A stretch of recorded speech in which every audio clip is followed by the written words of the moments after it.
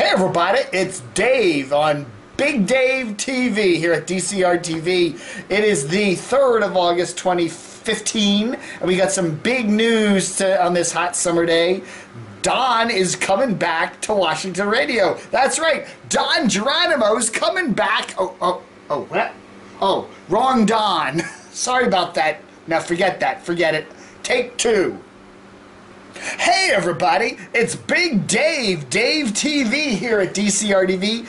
Don is coming back. Well, Donnie's coming back to Washington Radio. That's right, Donnie Simpson.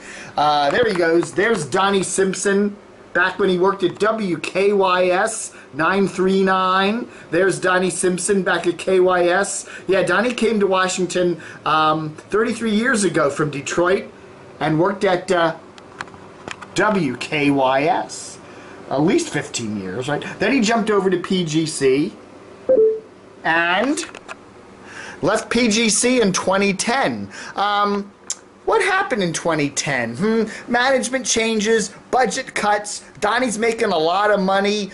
I, you know, whatever happened, I, I think he just got tired of the radio business, and you know, it was basically we're not renewing your contract or we're not having a contract renewal. Donnie left. Everybody thought Donnie would soon show back up again on Washington radio. A lot of rumors about HUR, stuff like that. Howard University's adult urban contemporary station, but it never happened. Donnie seemed to be happy out of the biz. He didn't seem, and every now and then when people would run into him, he'd say, "Hey, I like it. I'm enjoying the golf course and whatever." So, anyway, so it was kind of a surprise today that Donnie Simpson and uh, Radio One announced that Donnie's going to be back on the airwaves starting August the 17th, 102.3, the old HFS. Remember that? It's well, anyway, it's W. It's been WMMJ Majic 102.3 for a long time. Hot adult contemporary, uh, hot, hot, hot, adult urban contemporary, adult urban contemporary and he's going to be doing the afternoon shift from 3 to 7 starting the 17th of August.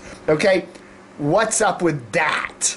Well, part of what's up with that is that Radio 1's ratings on 102.3 have been lousy lately. I don't know why. The station used to be a top 5 station just about every every ratings period. Now they're lucky to get into the top 10. They haven't even been in the top 10. They're like 15th, 13th, whatever. I don't know. Somewhere down there, okay?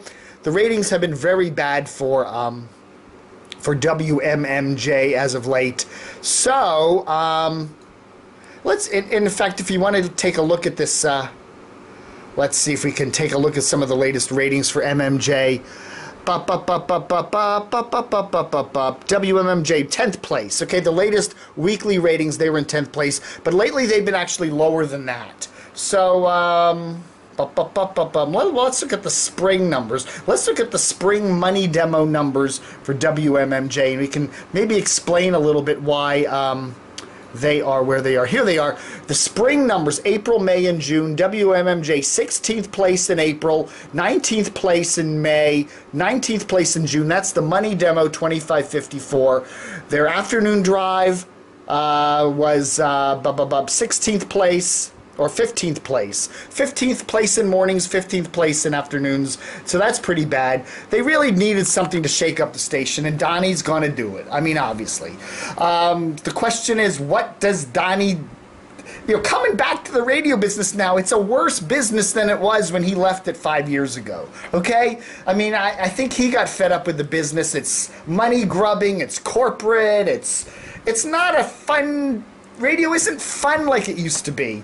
And I think Donnie sensed that, you know, and five years ago he said, I'm out of here. You know, I, am making a good amount of money, I'm out of here. So I guess they, you know, either Donnie just, you know, maybe Radio 1 said, you know, Alfred Liggins, who runs the place, said, hey, Donnie, you know, it'll be different. We're going to treat you like a king and whatever, and maybe they will. But, you know, their business is worse today than it was five years ago. So it's a little surprising that Donnie's back. But hey, Donnie's back. So that's the big news. Uh, so uh, we'll see. Um, I think it's a good move for him, you know, and it can't hurt. You know, MMJ, it, it needs a shot in the arm. Its ratings haven't been very good. Um, and, uh, you know, it's going to certainly shake things up a lot for the stations. And uh, there's also talk that Donnie will be doing some work for TV One, which is Radio One's cable TV channel.